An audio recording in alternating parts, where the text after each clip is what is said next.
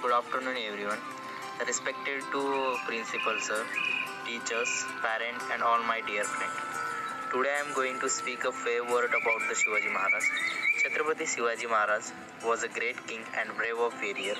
He was born in 19 February 1613 at the Shivneri fort in Pune, Maharashtra. His mother name was Jijabai and his father name was Shahajiraje Bhosle. He was a grave up at Pune under the strict of supervision of his mother and his teacher. Shivaji Maharaj was the founder of Maratha Empire. Uh, he was a queen of uh, Torna fort in uh, age of 16 years and then uh, he win of the many more fort in one by one in Ma- Maharashtra. Shivaji Maharaj is known by many names like uh, Shivba, Shivrai, Shivaji Raje, etc. And uh, Shivaji Maharaj is always believed in equality of justice.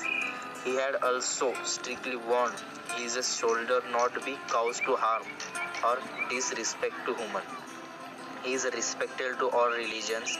He is built of a powerful navy and is known as the father of Indian Army.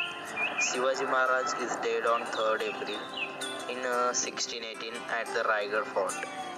And uh, in Indian history is incompletely without the history of Shivaji Maharaj. Thank you to all.